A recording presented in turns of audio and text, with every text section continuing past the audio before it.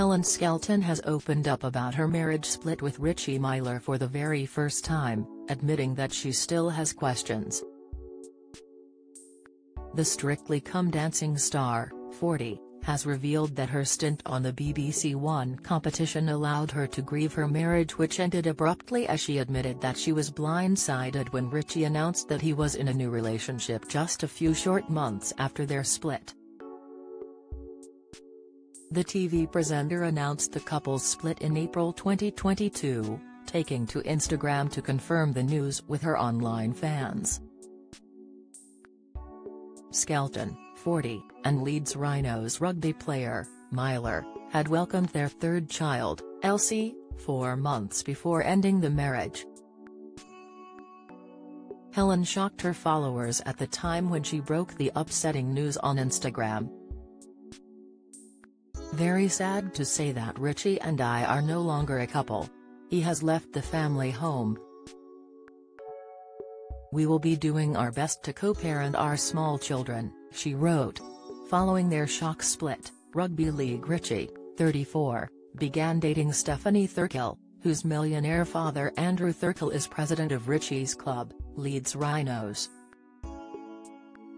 Since going public with their romance last year, Richie and Stephanie have since welcomed a baby of their own.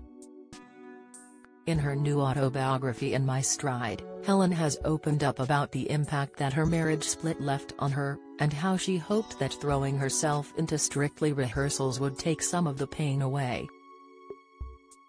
Helen recalls her rehearsals with Gorka, and how he once asked her why she didn't feel sexy. In week 2, Gorka asked me why I didn't feel sexy. It was an awkward question that immediately made me cringe. He was asking a woman with three children under six, whose husband had just left her and was with another woman, to be sexy. I thought, who would feel good about themselves in that scenario, she wrote. Helen went on to admit that she still has questions over her marriage split, but the Countryfile star is now said to be back on the dating scene, over one year after her split with Richie. And back in August, it was reported that Helen had officially divorced Richie. According to the Daily Mail, Helen was handed official divorce papers from Richie this week which have legally cemented the end of their 10-year marriage. The pair are now waiting the granting of a decree absolute which will legally cement the end of their marriage.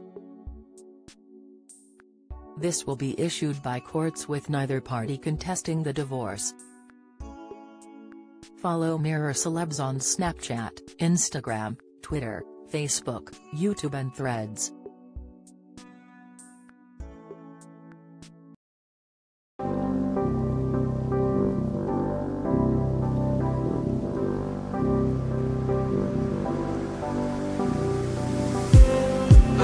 just me.